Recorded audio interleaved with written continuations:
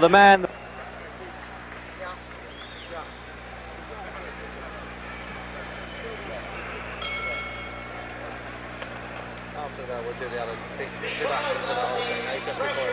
Ali can put on, and this really is a shock for the ex-champion when the official champion, Joe Frazier, gets into the ring to receive an award. And that really was a well-kept secret there. And look at these two taking the last waltz there. Muhammad Ali and Bundini Brown, his trainer. And you watch, you'll notice Frazier won't even go over to Ali. He's just bursting his sides with laughter. What a character this man. How can he do this when he's coming out for a fight? And even the intended victim, Floyd Patterson, there looks amused by it all. Good evening.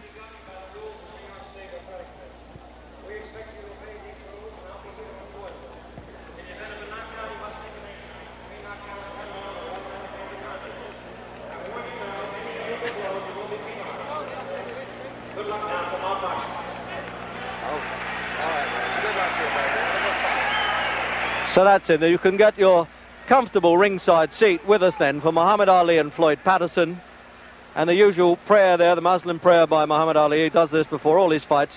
They're both wearing white trunks, but I think they're sufficiently well known not to bother with identification. And if you're not too sure, well, the man who's 29 and a half pounds heavier, Muhammad Ali, he's the tall one of the two. So then this is the repeat match they boxed in 1965 when Ali, or then Cassius Clay, was champion of the world and he stopped Patterson in 12 rounds.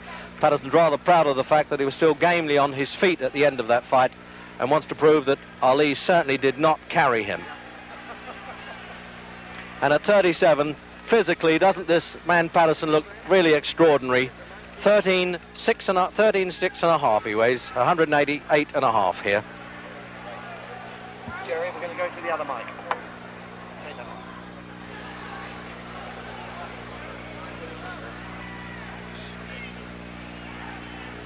So now we'll find out whether Patterson, in what he describes as a peekaboo style, he puts his head between these high gloves, can just duck inside that long left hand.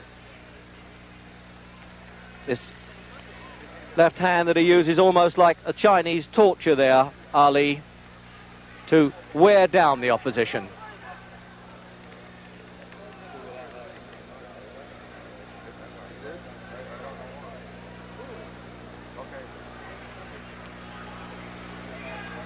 I think I'll be a bit surprised if Ali shows too much contempt for Patterson because he does have, whatever else he doesn't have, a good left hook.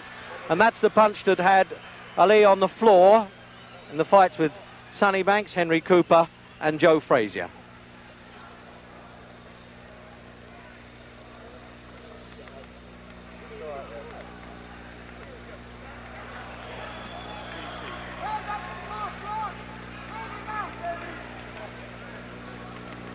Just casual flicks, as you can see from the big man there.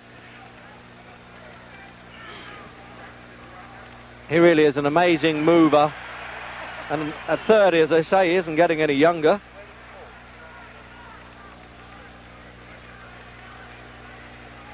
So you can really say with these trunks, you're getting it in black and white as well as colour.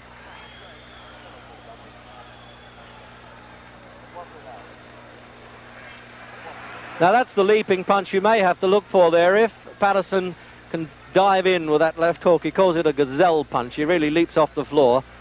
That's the really the only chance he has of tagging Ali.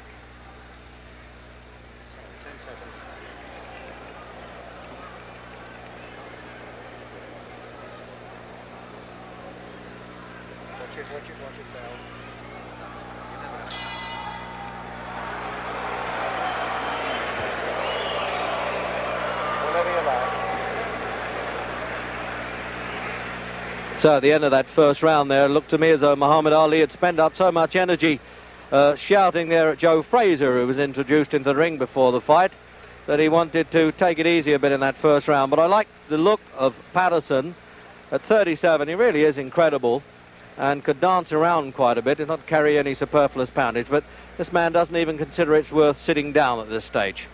This is his 40th fight, and of course he's lost only one, and that was to Joe Frazier when he lost the title. Um, when I say lost the title, when he failed to win it back actually from Frazier in this ring last March.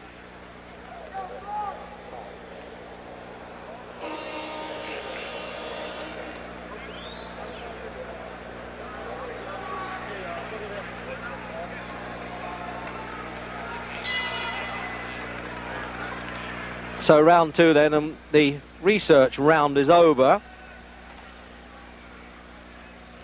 And Ali just flicking that left hand. But when he decides to put a bit of weight behind it, it, it, is a hurtful punch. Now we'll see if Patterson can use these clusters of blows that he used to be famous for, combinations they call them in the American fight game. He puts them together, still fairly rapid. But it's a question of getting near Ali to do it. That's the problem.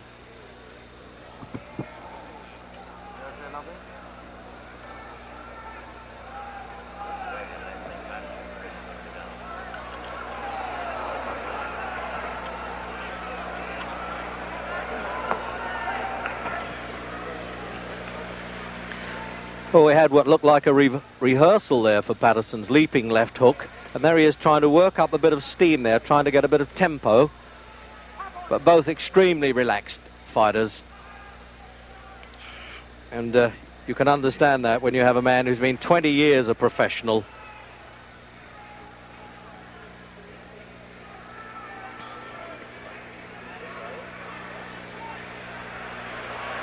Well, he was almost signalling there that he thought that punch was a bit low.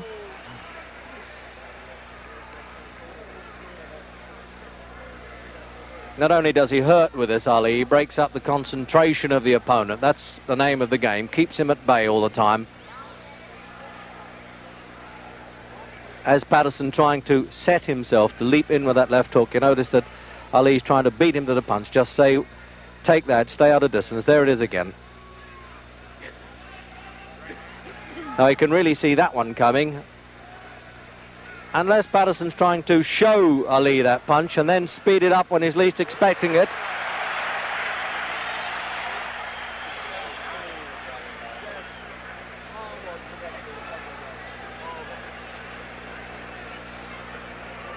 Now this is a question now of Ali's defensive skills.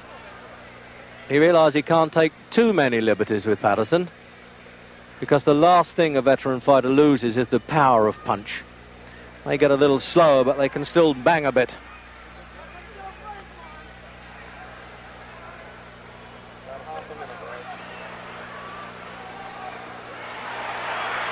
It looked a bit exciting to the bleachers, as they say, the back seaters here, but those punches weren't getting through. He was just brushing past Ali's shoulders with them.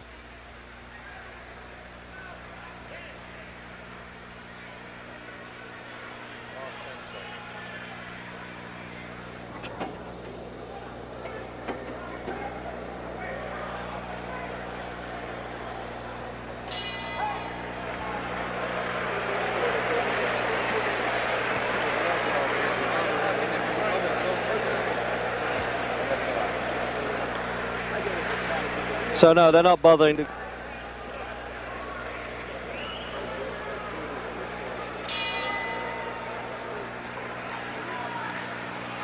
So into round three. Incredible casual look the whole time about Ali. You just can't tell when he's going to start saying, well now, you're going to get it. He's having a look at Patterson, as they say.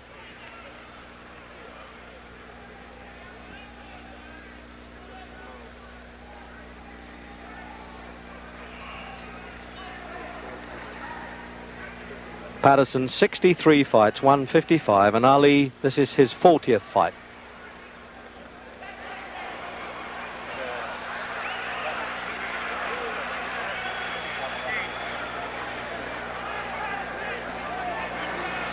So that's the pattern, obviously. If Patterson is going to stand square, Ali's going to rip those punches up. But give it to Patterson, he has all the spirit in the world. He'll come back at him. He did this for 12 rounds in Las Vegas when he had a crippled back and kept going and rather resents the criticisms that Ali was carrying him. Although, to be fair to Ali, he denies that.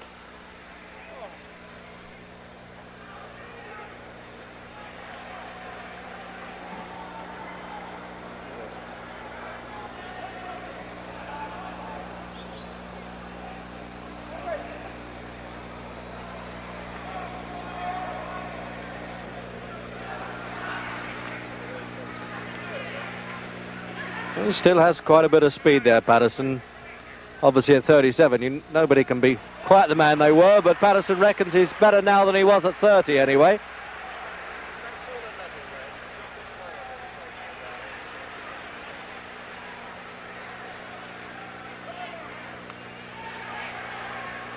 And I just noticed that he double jabs with the left hand, Patterson, then turns it into a left hook. That's the old formula when at one time they thought he had the fastest hands in heavyweight history.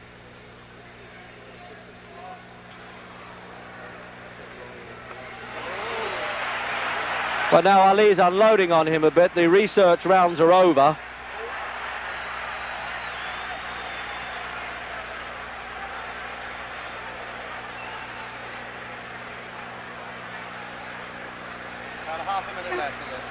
So with a half a minute to go in this round, I can assure you that from ringside, those punches from Ali were not taps at all. He was really getting some weight behind those.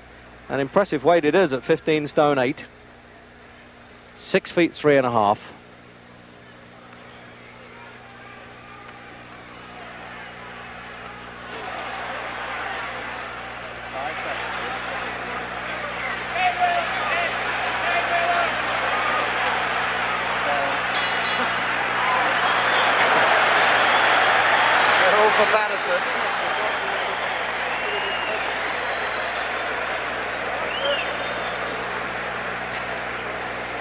Well, it's time. Uh, the old gentleman here, 30-year-old now, Muhammad Ali, wanted to sit down. He was standing up between those rounds. So let's have a look at slow motion.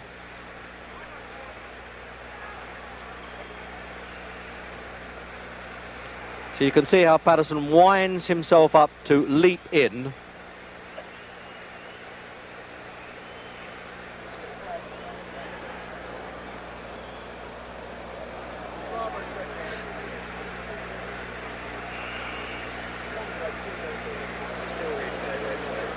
So this is still replay then of the third round.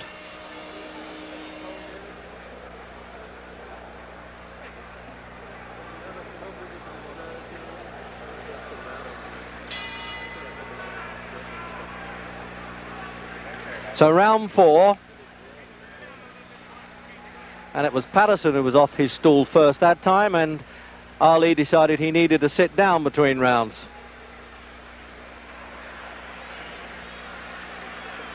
And now you can see it's been a little bit of tomfoolery there.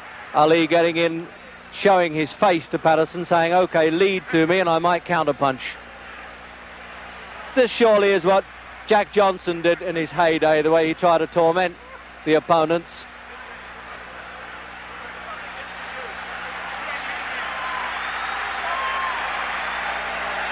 When do you think that Patterson knocked out Ingemar Johansson, he knocked out Henry Cooper, defeated Archie Moore.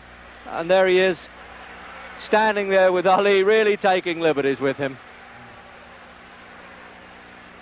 But one wonders if he just risked that chin out a little too far.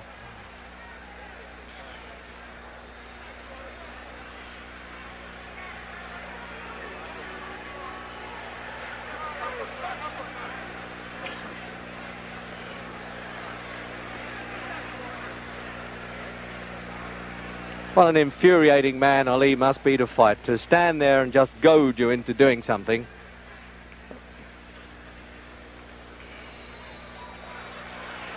Now he's winding up that bolo punch, the right hand. You watch this, he'll probably do a, a twist underneath and right through the middle of Patterson's guard.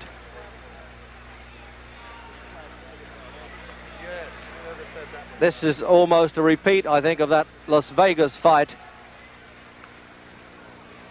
when Clay, Clay then really punished Patterson, but Patterson was still struggling gamely, rather sickening side in the 12th round.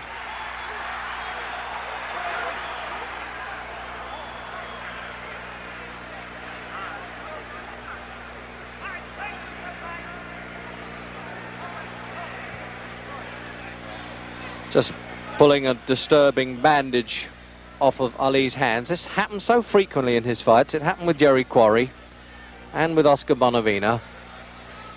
Of course, you can't get knocked out with a bandage, but it's a bit distracting.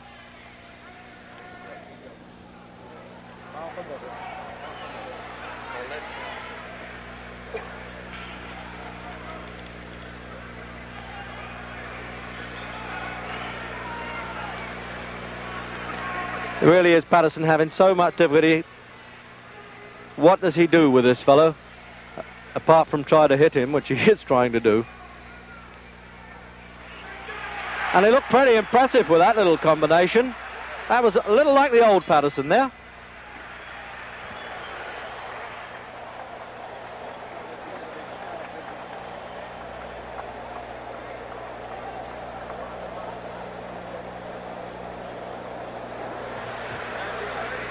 So there he is then, the man who went up to 16-2 this year against Mac Foster in Tokyo, but he decided to whip himself back into shape. He was in Detroit for three days last week, winning a court case on points, I think. So he had to have a crash program at uh, the weekend to do 29 rounds of sparring, and Angelo Dundee was saying he might have overdone it a bit. So then, replay into that round.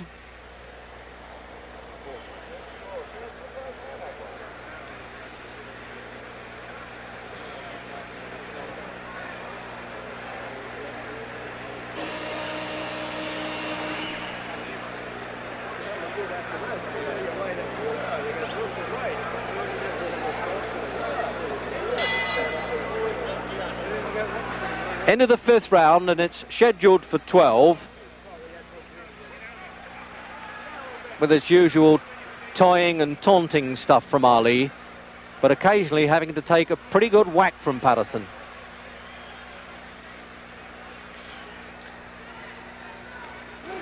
Both of them former Olympic gold medalists. Both won gold medals at 18 in Helsinki and Rome. Patterson is a middleweight, Ali is a light heavyweight.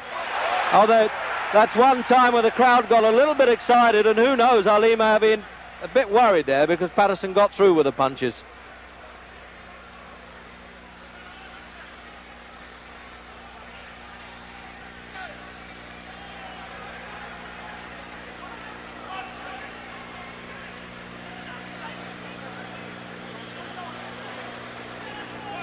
Trouble is, these Patterson successes always seem a bit short-lived you get the feeling that the big fellow puts him in his place right away when he takes a liberty or two.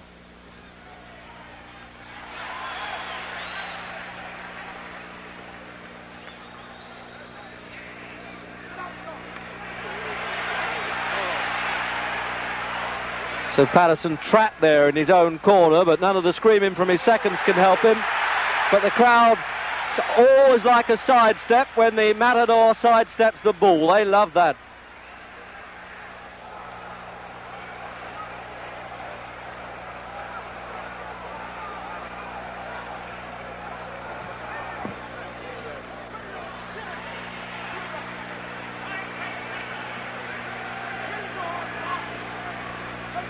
No doubt about it. You certainly can't knock the physical condition of Patterson. Same weight as in his heyday as the world champion. And he's had 12 world title fights and an additional one for a disputed world championship.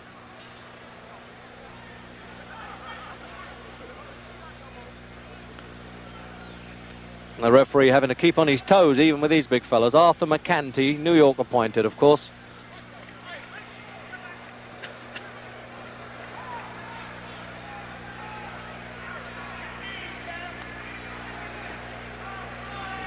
And a, the usual shouts there from Bundini Brown, one of Ali's seconds. Let's go to war.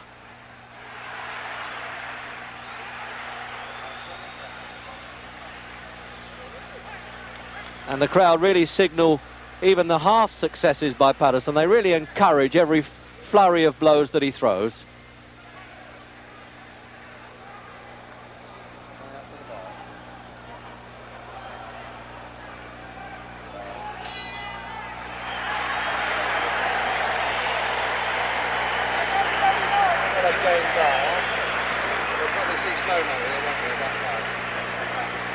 So there's one of the gamest men that ever been in a fight game.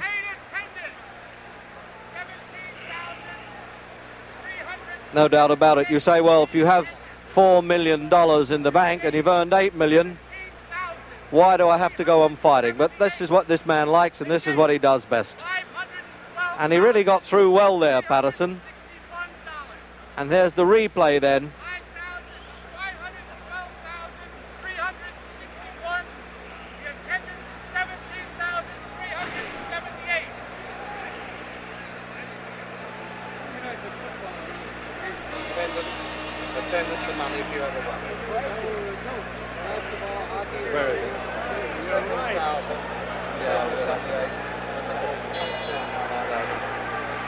So the halfway stage, round six then. And as if you didn't know, Muhammad Ali and Floyd Patterson, both former heavyweight champions of the world, and this is the really lively round, it would seem.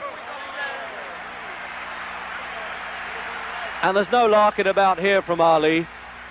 There really isn't. He's done the toying and taunting stuff. He's taken a few punches from Patterson, and it looks as though he wants to go to work in the sixth round. Patterson lasted 12 rounds in the last fight. It looks as though he's going to be lucky to do it here.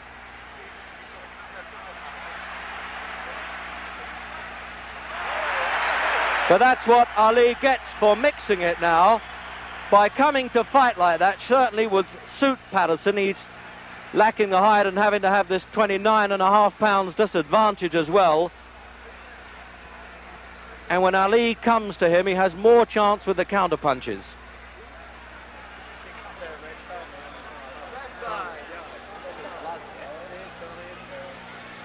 Some damage around Patterson's left eye now. You just see him thumbing a bit of blood away there.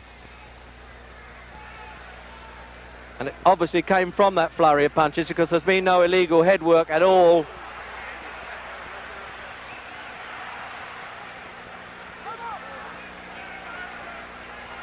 Well, this really is a punch-up in this round.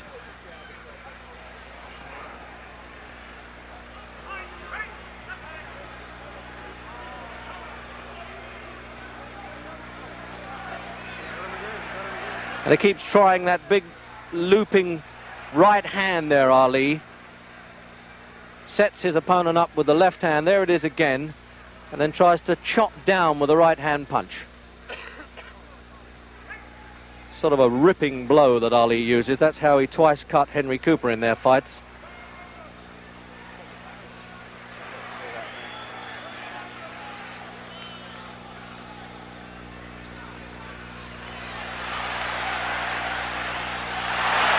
Thing is, when it comes to spirit and gameness, you can count on Floyd Patterson. Even though that blood now dripping from that right eye. And it's Ali taking him apart now. With half a minute to go in the sixth round.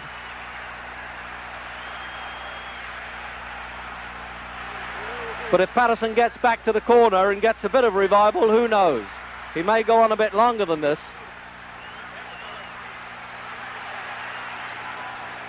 But this is where Ali's trying to make every punch count now.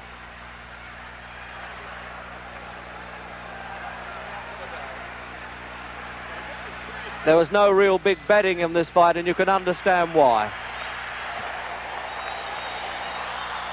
Lift it a bit, Wedge, for you, will you? You're a bit, you sound a little tired. No, it's all right. No, I don't want to scream. They're screaming. No, you sound well. tired to me. You're not your good self, darling. Might be all that... So now here's the corner men. This is where many fights, of course, are won and lost in the corner. They're applying this ice pack round Patterson's face there. It can't be too badly cut because they don't seem to be using the adrenaline pads on it. But there's a fellow who's really taken a battering in that sixth round.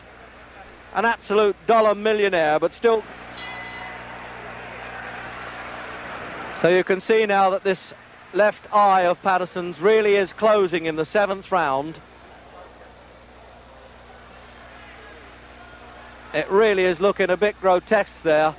And it, although that was a low punch, he actually slipped as he threw that punch. So you may get an apologetic uh, touch there from Patterson. But this uh, armistice will be very short-lived, I think.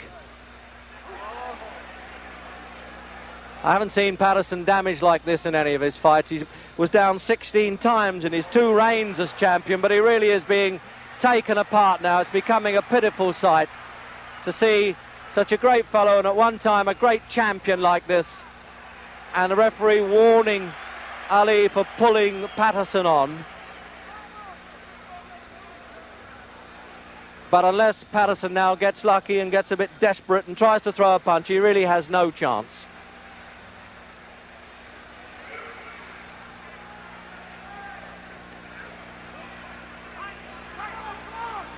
I would have thought, obviously, that Patterson has trouble seeing these punches coming.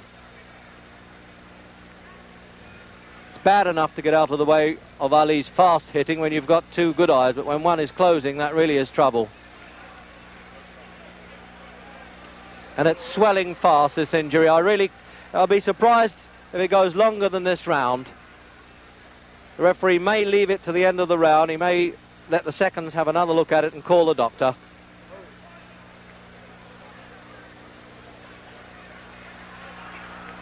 And that is the desperation stuff now from Patterson. As you would expect, it's more of instinctive retaliation.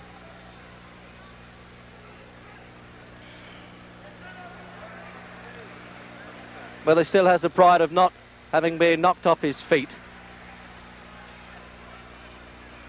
I'm wondering now whether this really is the last time we shall see Floyd Patterson in a ring.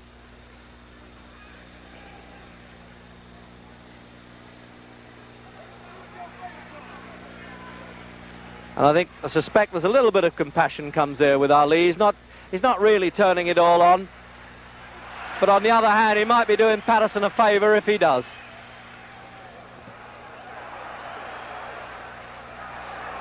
Less than half a minute. So with half a minute to go then, this is the effort now from Ali. I think he wants to take Patterson out.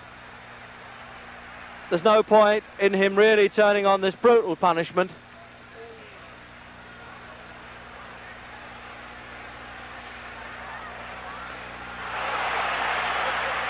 And he's bleeding quite heavily now and the eyes swelling. And it looks, yes, the doctor's coming up now, and it looks to me as though he cannot allow this very game man to go on in this one-sided fight now. Dr. Edwin Campbell, New York State Athletic Commission there, up in the corner by our commentary position. And I really can't see how he can let this go on. But there you are, the doctor's far more qualified than I am to make that decision. But he's already asking Patterson how he feels about it. Well, obviously, knowing the pride of Patterson, he's not going to quit unless he has to. It's a tense moment now, and Ali's corner looking over to say what is happening. But it looks as though they're going to send him out for the eighth round. No, the referee quite rightly refuses to let this go on. And it just shows you how ignorant can the crowd get. They're quite upset that the referee has stopped this at the start of the eighth round. But I am entirely in agreement with the referee and doctor's opinion there. It really is a bad eye. It was a one-sided battle and one of the great fighters of our time shouldn't be humiliated any farther. So now we'll try and have a word with both winner and loser. It's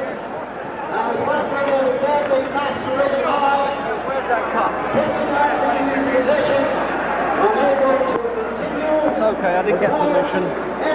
One of these guys recognises me. Can I get in, fellas?